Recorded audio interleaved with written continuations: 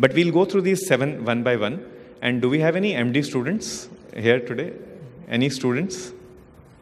Anybody who passed out in previous two years? I, I need help with my Burmese. Sir, could you, ma'am, could you, any, any seven volunteers, please, to translate? Yes. Any volunteer for translation? Any volunteers? Yes, please. So this, these are questions We should use them in all patients who are taking high dose sulfonylurea or high dose insulin. And these tell us, uh, these will help you define almost all symptomatic hypo. So the first is, during the first week, did you ever have morning headache? Can we translate into uh, Burmese? ပြီးခဲ့တဲ့တစ်ပတ်မှာဒီမနေ့အစောကြီးကိုခေါင်းကိုက်တဲ့ဝေဒနာခံစားရဘူးလားလို့ Okay, so for all junior members, this is easy to remember. You have to ask every patient on insulin and sulfonylurea, right? So this is, we are asking about nocturnal hypoglycemia.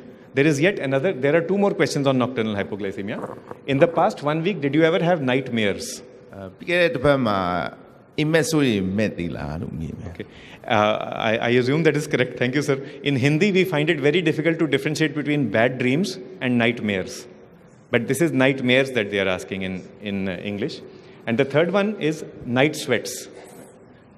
အဲပြီးခဲ့တဲ့တစ်ပတ်အတွင်းမှာညပိုင်းမှာဇောကျွေးတွေပြန်ဘူးလားပေါ့ Okay. And how will you differentiate between malaria and hypoglycemia? That is the doctor's work. but Yes, so, we- yeah. yeah, carry on. because uh, this uh, fever this after a fever with an uh, profuse sweating Yeah. is like a malaria then like this night sweats is because at the night time she felt a very the whole body was sweating Yeah. then they, they always complain that Right. uh, So- Yeah, thank you. The, the point we want to put here is that uh, this is a questionnaire, it is a screening questionnaire. So it is not going to have 100% specificity also. It is not that everybody who has night sweats is going to have hypoglycemia. It might be malaria also, but you should use your brain, you should use your common sense. Thank you, sir. Any other volunteer? These are three questions on nocturnal hypo. Uh, we also have questions on uh, adrenergic symptoms and on neuroglycopenic symptoms of hypo. So, in the past one week, did you have lightheadedness?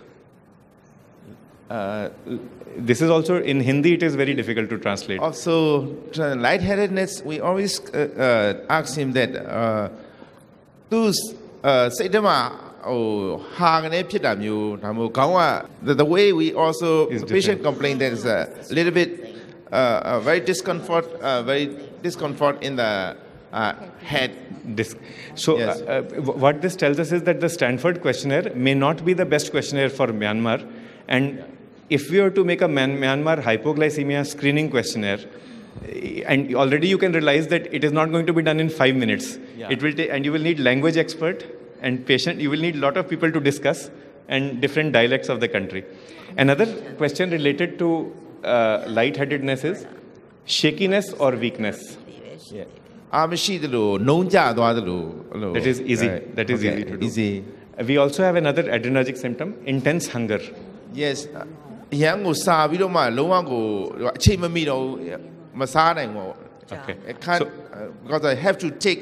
This is not enough to take the food immediately because They I'm can't so wait. hungry that they, They can- can't wait for yes, anything. Yeah. So, and the last one is this is from neuroglycopenia. In the last one week, did you ever have times when you passed out, fainted, or lost consciousness, even for a short time?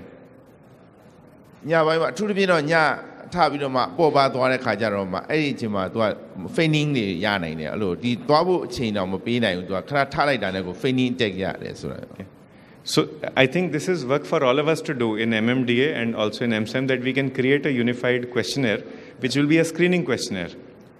This screening questionnaire will not replace SMBG.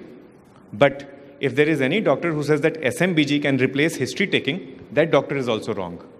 So, history taking has its own importance. If we are able to create a questionnaire with the correct words, that will help all patients and all doctors across the country. Uh, we have spoken about guidelines in the past, and we have good examples from Pakistan. Uh, Myanmar has its own guidelines, which are very well uh, received across Southeast Asia. And I have seen that in Cambodia, they have been copying the Myanmar guidelines. Even in Vietnam, now the government is trying to bring out a clinical pathway. And they have referred to the Myanmar guidelines again and again because they feel that Myanmar is closer to Vietnam than America. So, so, so they feel that Myanmar guidelines are more pragmatic.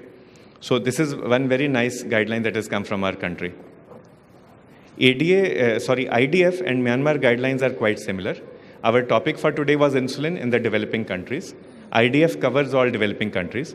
And here what we see is that you can use either basal or premixed insulin for initiation and for intensification of therapy. How you will decide between these two? We have already talked about the glucophenotype. We have talked about the glycemic pentad, the five precepts, and we have also talked about negotiation skills, how to convince the patient to take proper insulin therapy.